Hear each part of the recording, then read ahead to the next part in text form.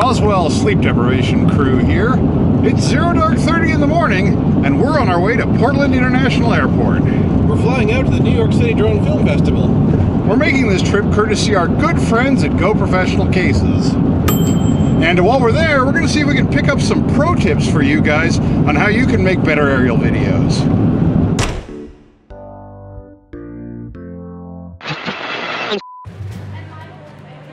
The day after the film festival, the New York City Drone User Group is hosting a fly-in, so we brought Little Bird along. Next, we had to decide who was going to carry our LiPo batteries through security. So it's been a while since I've seen Lucidity. Oh wait, there he is. Let's, here he comes.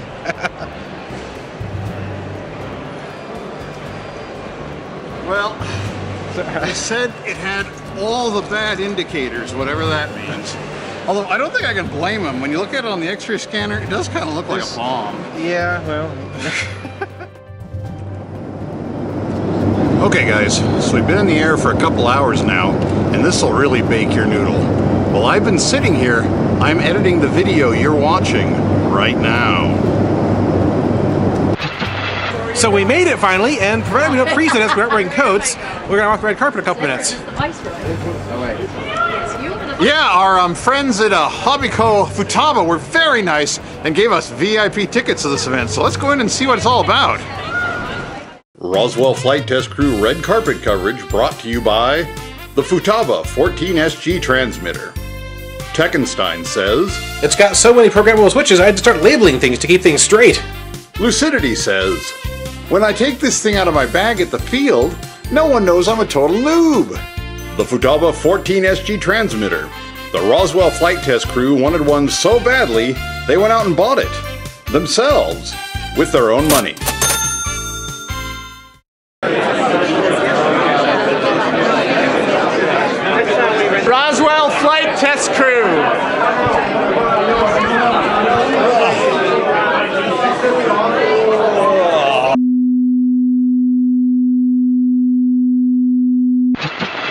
So now we're going to talk to some of the folks who are here at the film festival and see what advice they have to pass along to you.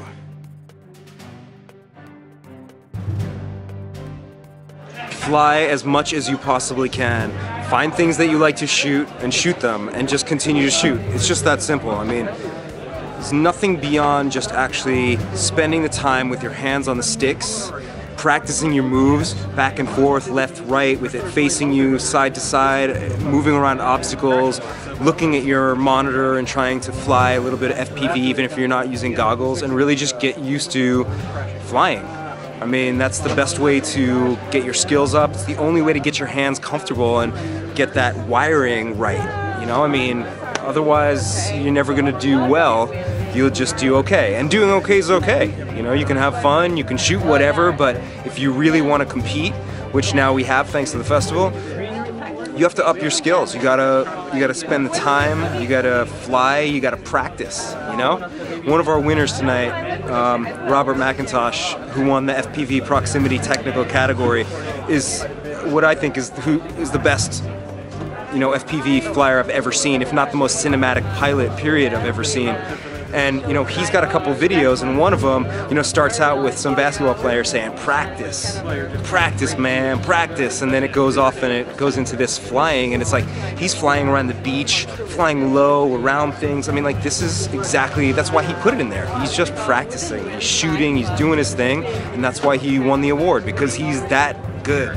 If you want to enter the festival next year, look at the categories, look at the competition from this year, and if you really want to win, you have to shoot amazing material. I think one of the biggest things that somebody can do, aside from actually flying really well, also is hire a real editor. You know, really like work with a filmmaker. If you're just a drone pilot, work with a filmmaker. And if you're a filmmaker, then awesome. But the reality is, it's two things. When you're talking about drone cinema, you're talking about drones and cinema. And cinema is filmmaking. And that means editing, music, pacing, all that other kind of stuff. That stuff is really important. And unfortunately, a lot of things didn't make it into the festival this year because of that. Because they just didn't have it edited well. They just didn't have it together when it came to the cinema part.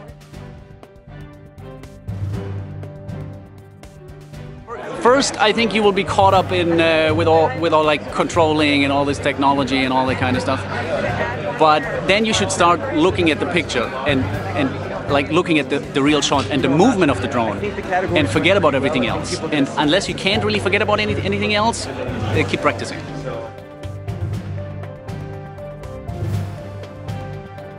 I would say don't go too fast to start with. Just um, you, you, don't have to be Chuck Yeager on first day. You don't have to see how high it can go on the first day.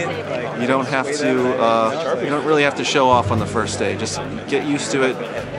Fly in you know a range of different conditions before you start pushing yourself. Really, you know, fly in um, dusk. Fly in direct sunlight. Fly while it's a little bit windy. You know, and and just play it safe. You know. That's good advice. Play it safe.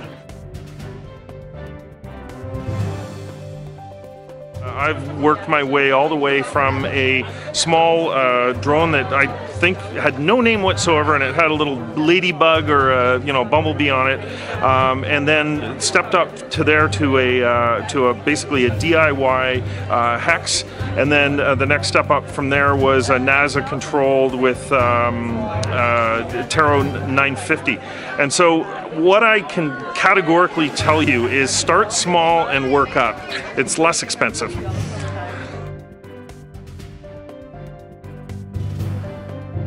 The advice I can give you guys is invest in a parachute. Uh, it's a little pricey, but at the same time, it'll save you a few thousand dollars if something does happen to your drone. And uh, you know, uh, I've been doing this for uh, a while, and uh, even though I've been doing it for a while, I still crash, and uh, you learn. And now that I have parachutes, luckily I haven't had a chance to deploy them yet, but you know, it's there.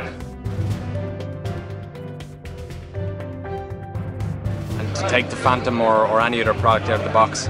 It's quite easy to fly, although when you really get talented, you can capture some amazing footage and, and much more advanced. So our advice, um, as we're an education company to people, is is to go that step further. Know your product in terms of the uh, the facilities that are on board. For example, IOC or any other programs that you can use, uh, and really practice, practice, practice to get very skilled with your with your craft. Yeah. Dad? I would say check your regulations in your country before you do anything, before you take it out of the box. And if there is a doubt, there is no doubt. All right, and look who we ran into. It's Rick from Go Professional Cases. How you doing, Rick? Hello, welcome to the Big Apple. Thank you, thank you. We're glad to be here. So, any advice for the newcomer? That's the question we're asking everybody tonight.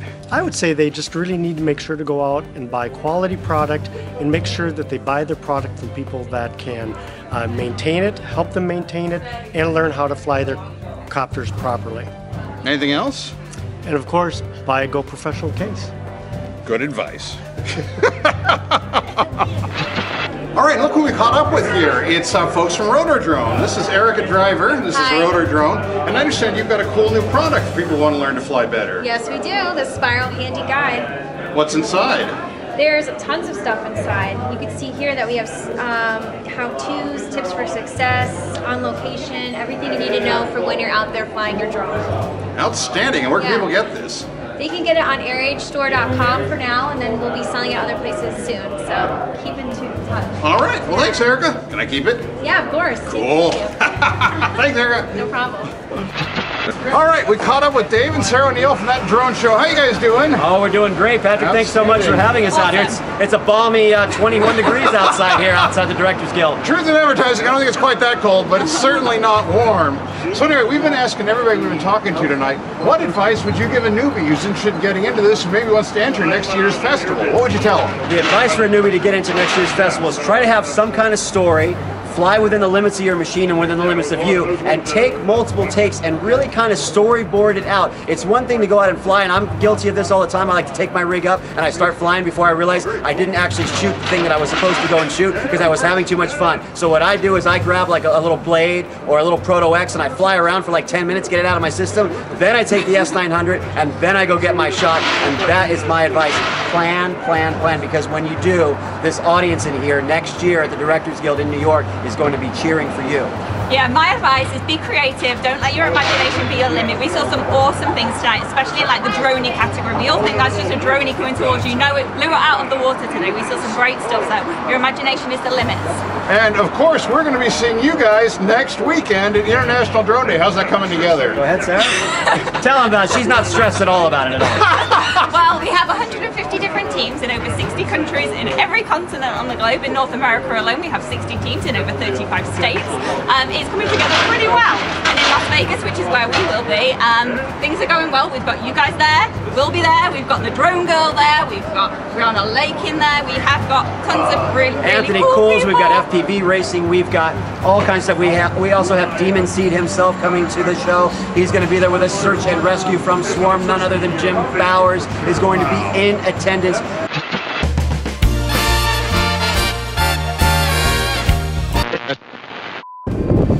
All right, so now we're in Brooklyn at a fly-in which is being held as part of the film festival last night. And we're at the Seaview Rotor Wings Club, which is just outside of Coney Island. And there are a bunch of guys flying uh, helis here, that's what this club does, and a bunch of people with multi-rotors and FPV ships. So let's check out what they're doing. All right, thanks for coming out today. I told you you'd be freezing butt, and here we are doing it. Um, so, once again, I just want to thank all the members of Seaview Rotary RC for hosting us today, doing us a huge solid. Big round of applause. Well, uh, as you might imagine, New York City uh, region is a pretty tough uh, flying environment, and our good friends at the AMA, uh, through some arrangements, were able to secure this uh, AMA field for us to fly at today. Um, you know, the, the New York City Drone User Group has recently become very actively involved with the AMA um, because we share so many interests. Um, up until now, I think that there was some uh, uh, connotation that the AMA really wasn't on the drone user side, and I really see dramatic changes in that regard. Uh, based on meetings and conversations, uh, we've, we've really been welcomed with open arms. So uh, I, I would encourage our members to join only because um, it just gives us access to a lot more political clout and also a, a, much broader network of users and, uh, and real support. I, I think that the FAA really really respects the AMA as a community-based organization, and that's something that we you know we feel strongly about. Okay, Seaview Rotary Wings is a model helicopter club that was started in 1992 by Roman Porosik, Prakash Prasad, and a few other people, uh, Seth Sterling, as a, a, a, a medium for RC helicopter pilots in the city of New York. RC helicopter flying is very unique to quite a few. Um, it is something that does not require a tremendously large field, but it's something that certainly needs needs some room in order for you to grow and to learn. Our original field used to be in Canarsie at 108th Street and Seaview Avenue, and later on throughout the years, we started to outgrow that field, and we inquired of the city of New York if they had any other uh, fields that were underutilized, and they showed us several, and this is the field they settled on, and we wholeheartedly agreed that this is the place for us to be. And for many people that have come to this field, um, what they pretty much have said is they couldn't believe that something like this could ever exist in Brooklyn. But this is our little slice of heaven. So one of our goals today is get some still photographs for Rotor Drone magazine, and we had a little Canon camera here with some hacked firmware with an inter intervalometer, which take pictures every second or so. So we hooked that next to our GoPro. We're flying through the GoPro, taking pictures with the still camera. So basically just fly it around, tape it down to the aircraft, good to go. So, you know, you're pretty, but it'll work.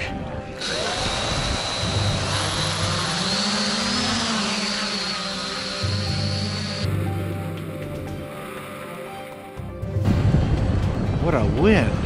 It's getting worse. The winds aloft were ferocious, but thanks to Techinstein's flying skills, Little Bird completed her mission and came home safe.